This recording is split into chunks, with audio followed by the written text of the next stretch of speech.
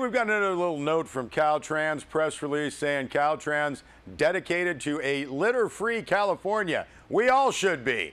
Now, in an effort to raise the public's awareness and prevent littering, Caltrans maintenance crews across the state will be participating in the annual statewide Litter Pickup Day.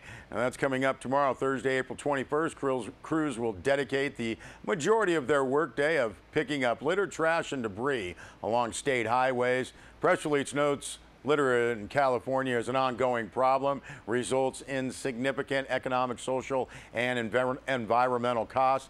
Litter is aesthetically displeasing. Well, I agree with that as well as presenting a range of threats to human and ecologic health and affects the quality of life throughout the citizens or for the citizens throughout California. Now, litter increases the risk of personal injury to Caltrans employees, the threat of fire along the state highway system, and the spread of diseases in communities. Also, can threaten wildlife and pollute California, California's waterways. And the press release notes these impacts are real. Hey, last year Caltrans spent $76.5 million on litter removal throughout the state highway system, almost 153,000 cubic yards of litter. That's about 900 and 9,562 garbage trucks were collected and disposed of. Now, in addition to not throwing trash on roadways, the public can help by participating in the Caltrans Adopt a Highway program.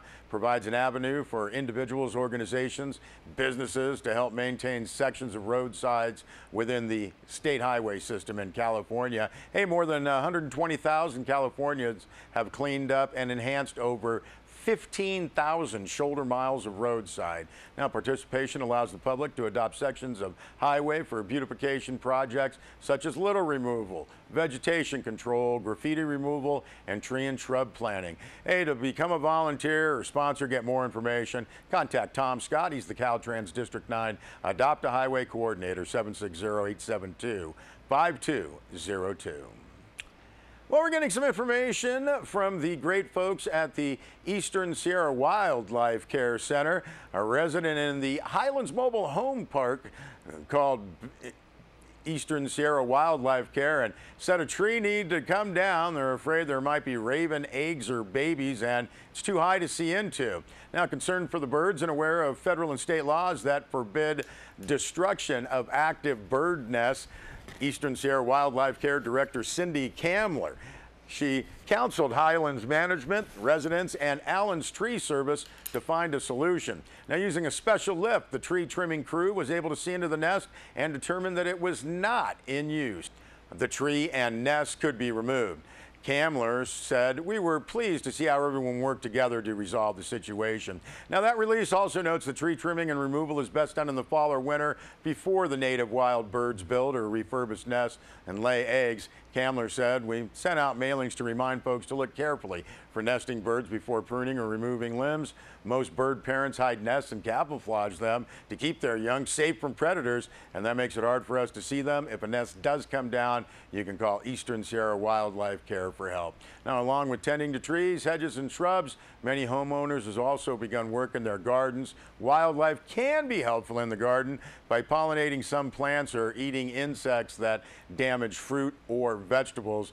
However, the press release notes sometimes animals take a little larger share of your harvest than you're willing to give.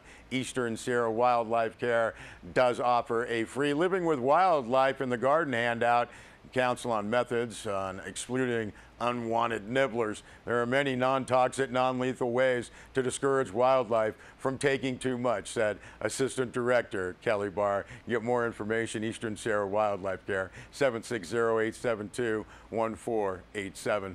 Wonder if that works on some party guests.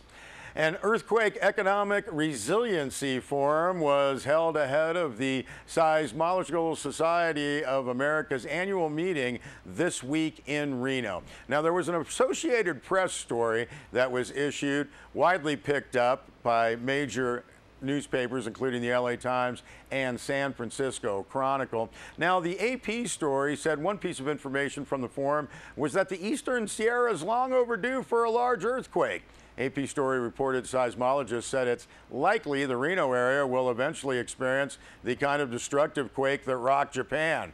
Rick Koehler, an assistant professor of geology at Nevada's Bureau of Mines and Geology, said a magnitude 7 earthquake could potentially at any time, anywhere along the California Nevada border. AP story said the most recent magnitude 6 was 22 years ago, Carson Valley, south of Carson City. Now, that story also states the largest earthquake ever recorded on the Sierra Fault was a 7.4 in 1872 in the Owens Valley south of Yosemite third largest in California behind the magnitude 7.9 at Fort Tejon and 1857 and the 7.8 in San Francisco in 1906 just had the anniversary, anniversary of that. Now the AP story noted new technology being developed in California could help mitigate damage on the Las Vegas Strip.